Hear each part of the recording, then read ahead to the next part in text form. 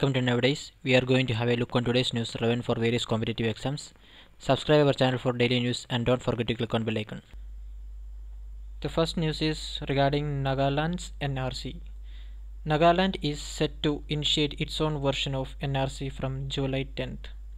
Nagaland has decided to start a variant of the National Register of Citizens named Register of Indigenous Inhabitants of Nagaland that the neighboring Assam is updating.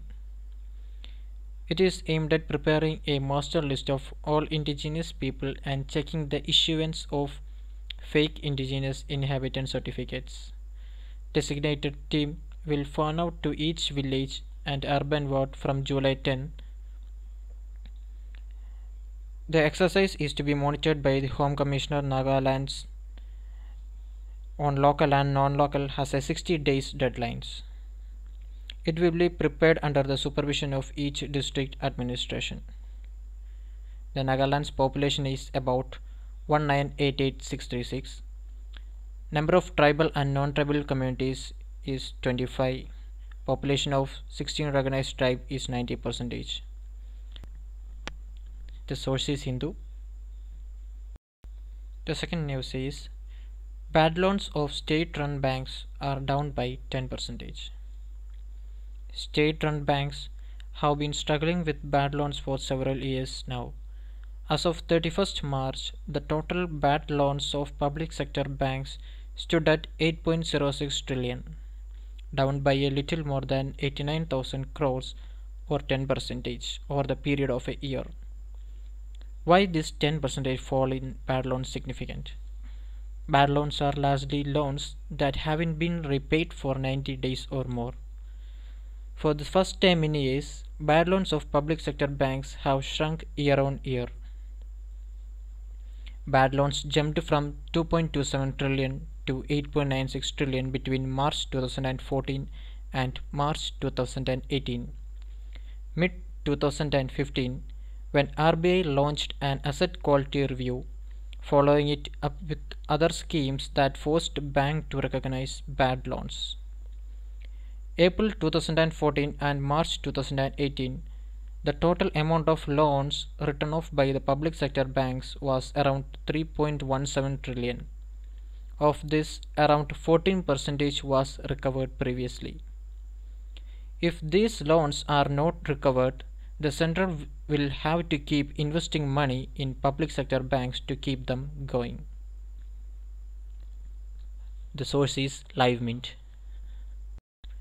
The next one is about Goods and Service Tax GST. To mark two years of GST implementation on 1st July 2019, the Finance Ministry unveiled a new return filing mechanism besides a host of other reforms to simplify the indirect tax system.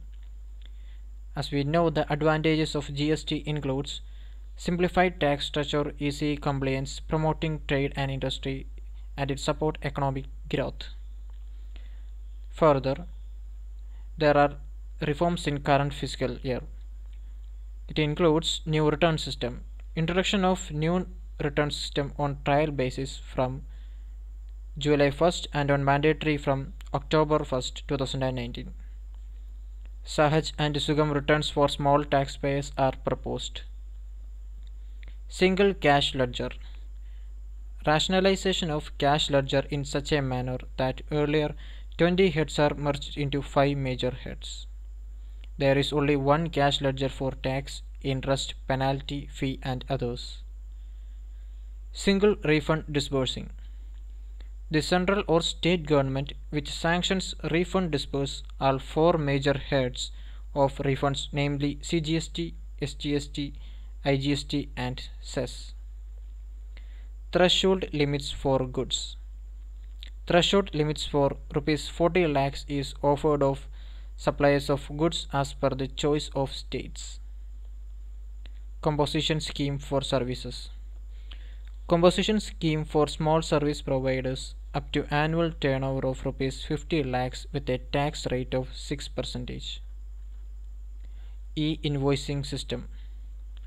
Electronic invoicing system in a phase-wise manner for business to business transaction is proposed to be introduced. GST Appellate Tribunal GST Appellate Tribunal are being established at various state headquarters and area benches also. The source is PIB. The next news is about Indian startups. Indian startups have raised a record $3.9 billion from venture capitalists in the six months ended 30 June. The investment in 2019 are also comparable to the full year investment of $4.2 billion and $4.3 billion in 2016 and 2017 respectively. Venture capital is a financing that investors provide to startup companies and small businesses that are believed to have a long-term growth potential. Venture capital generally comes from well-off investors, investment banks and any other financial institutions. Venture capital firms or funds invest in these early stages companies in exchange for equity or an ownership stake. The source is LiveMint. The next news is about World Health Organization's norms on self-care interventions.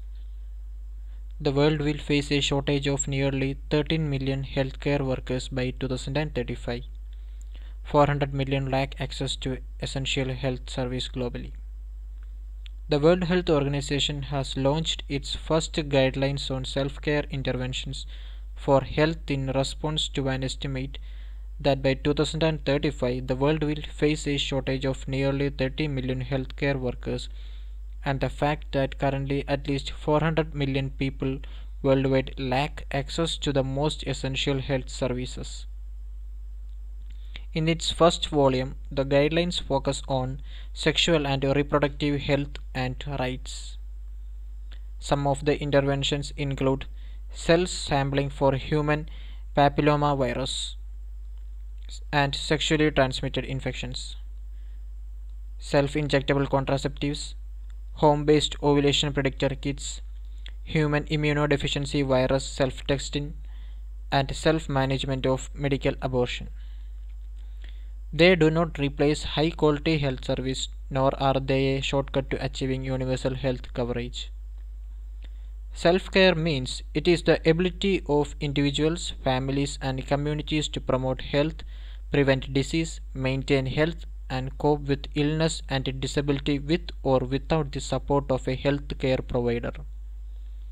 Self-care is also a means for people who are negatively affected by gender, political, cultural and power dynamics, including those who are forcibly displaced to have access to sexual and reproductive health services as many people are unable to make decisions around sexuality and reproduction. The guidelines will be expanded to other including self-care interventions in the guidelines meanwhile will be expanded to include other self-care interventions including for prevention and treatment of non-communicable diseases. World Health Organization is establishing a community of practice for self-care and will be promoting research and dialogue in this area during the self-care months between June 24 and July 24. The source is Hindu. The next news is regarding Japanese encephalitis outbreak in Assam. The Union Health Ministry has given the following support to Assam state for effective prevention and control of Japanese encephalitis. All 27 districts of Assam have been covered under Japanese encephalitis vaccination campaign for 1 to 15 years, followed by routine immunization as part of immunization program. 10 high endemic districts of Assam have been included under the multi-pronged strategy for prevention and control of Japanese encephalitis. These districts have also been covered under adult Japanese encephalitis vaccination campaign. Out of 10 high burned districts, funds have been provided for establishment of 7 pediatric ICU. Of these, 4 pediatric ICUs have been made functional. For the diagnosis of Japanese encephalitis, till date 28 sentinel surveillance hospitals has been identified for rehabilitation of Japanese encephalitis disabled patients.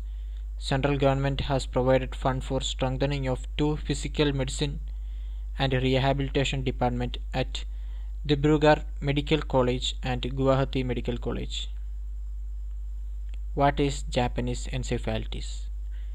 It is a vector-borne encephalitis transmitted by Culex group of mosquitoes. These mosquitoes breed mainly in rice field and large water bodies rich in aquatic vegetations. Migratory bird along with pigs in the community play an important role in the transmission of Japanese encephalitis from one area to other area. The source is PIB. The next news is about heat wave in Maharashtra. The heat wave in Maharashtra killed 9 people and affected 564 leading to their hospitalization this year. While monsoon has brought some respite in the last few days, activists said preparatory measures should start now to brave the next summer in a better way. Data collected by the Directorate of Health Service shows that nearly 2300 cases and 64 deaths due to heat related illness have been reported in the state since 2011 but these numbers could be underreported as the statistics have been taken only from the government-run medical facilities. When one is exposed to excessive heat, the temperature regulation of body collapses and the patient succumbs if timely treatment is not offered. Heat-related mortalities have been observed to be worse in coastal areas due to higher humidity. This makes a large section of India's population even more vulnerable. A 2017 study shows 0.5 degree rise in average summer temperature could increase India's heat-related mortality rate by up to 2.5 times.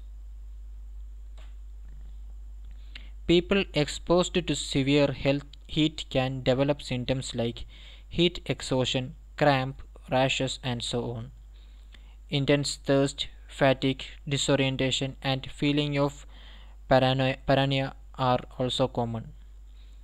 In severe cases, people may experience hallucinations, fainting and vomiting.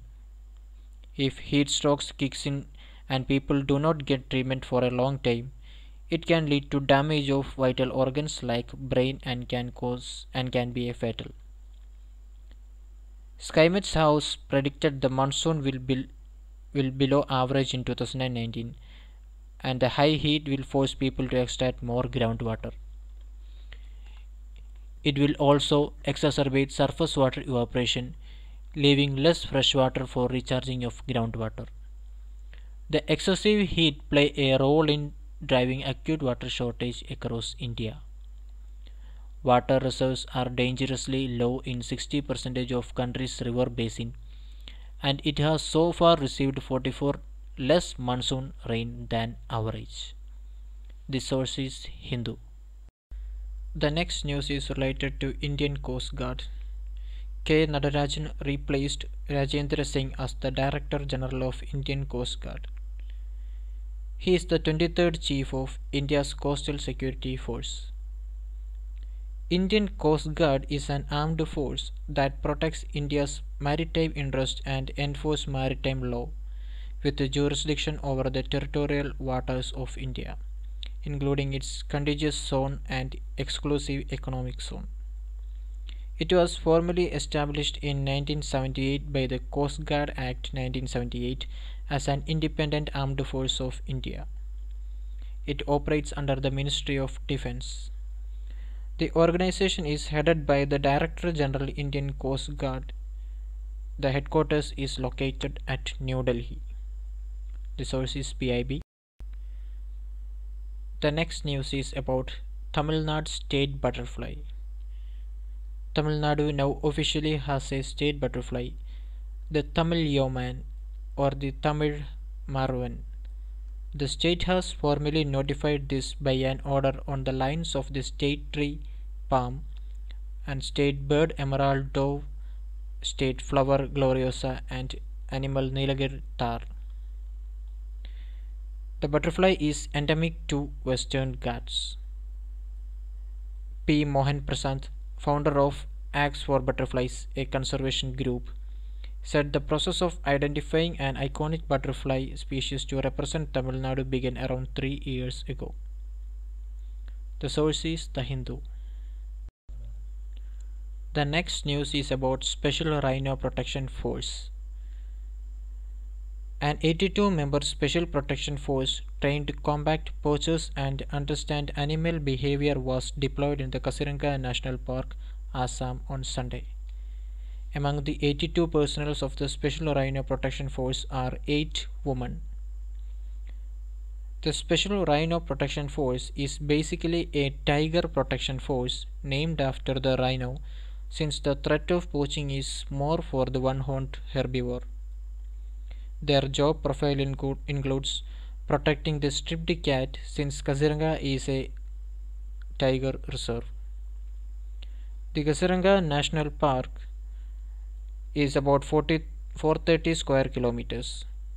It encompasses 8 ranges under 2 wildlife division, Eastern Assam and Bishwant. Of the 82 Special Rhino Protection Force personnel, 60 have been assigned ranges under the Eastern Assam Wildlife Division on the southern bank of the river Brahmaputra. The source is The Hindu. The next news is about Mount Denali. The Indo-Tibetan Border Police Deputy Inspector General Aparna Kumar has become the first civil servant to scale Mount Denali it is the highest peak in North America. Mount Denali was once called Mount McKinley. It was officially named Denali after protest by the native Koyukon Athabaskan people who called the mountain Denali, which is usually translated as the Great One. It is located in south central Alaska. The mountain's peak is 6190 meters above sea level, thus making it the tallest mountain in the North America and the third highest mountain of the seven summits, following Mount Everest in Nepal and Aconcagua in Argentina. The source is All India Radio. The next news is about Kenya's tech war on poachers. A handful of surveillance camera made it seem very sophisticated for a sanctuary which is also home to the largest population of critically endangered black rhinos anywhere in East Africa. Last month, Ol Pejeta, a private conservancy on Kenya's Laikipia Plateau that shelters the only two northern white rhinos left on Earth, launched what it calls the world's first wildlife tech lab, a research hub at the heart of this sanctuary dedicated to bringing conservation management into the information age. Inside a retrofitted shipping container, computer engineers are testing the next generation of animal tracking chips and developing remote sensors that could one day monitor everything from ranger health to river levels. Data on everything from security breaches to fence damages, lion sightings and ranger location is fed into a digital dashboard accessible at a finger's touch. A pair of flashlighting handcuffs on the screen indicates an arrest. A poacher contact alert would trigger the immediate deployment of an armed ranger. It is among the latest technology deployed to combat poaching at Ol Pejeta. Among other projects, researchers are working towards a chip small enough to fit in a rhino horn but capable of live transmission of the animal's exact location and core vitals. The source is The Hindu. The next news is about Mahatma Gandhi IT and Biotechnology Park. The Mahatma Gandhi Information Technology and Biotech Park has been inaugurated in Cote d'Ivoire, a country in Africa. The MGIT BP was jointly inaugurated by ambassadors of India and Vice President of Cote d'Ivoire in Grand Bassam, Cote d'Ivoire on 27 June 2019. The MGITBP is being built with India's assistance through Export-Import Bank lines of credit of $20 million. MGITBP is a dedicated free trade zone for IT and biotechnology. The project consists of two parts. Firstly, architectural concept and design for the buildings of free trade zone and construction of main building to host IT enterprises. Secondly, supply and commission of equipments which included computer assembly plant, VSAT with satellite earth station, networking lab, human DNA lab, data storage area network, an audio visual lab and a power generator. Ivory Coast, also known as Cote d'Ivoire and officially as the Republic of Cote d'Ivoire, it is a sovereign state located in West Africa. The source is Business Standard. The next news is about National Film Heritage Mission. Minister of Information and Broadcasting Prakash Javadekar today reviewed National Film Heritage Mission project in a meeting held at National Film Archives in Pune. National Film Archives of India, Pune, under the Ministry of Information and Broadcasting, is the implementing ministry. Its objectives include preservation, conservation, digitization, and restoration of Indian films. The strategy of National Film Heritage Mission are condition assessment of film reels to ascertain the remaining life of the film the 2K and 4K picture and sound restoration of landmarks films of Indian and recording of new pictures and sound internegatives of each film. Digitization of films, construction of archival and preservation facilities called vaults, training and workshops for in-house capacity building and web-based end-to-end IT solution.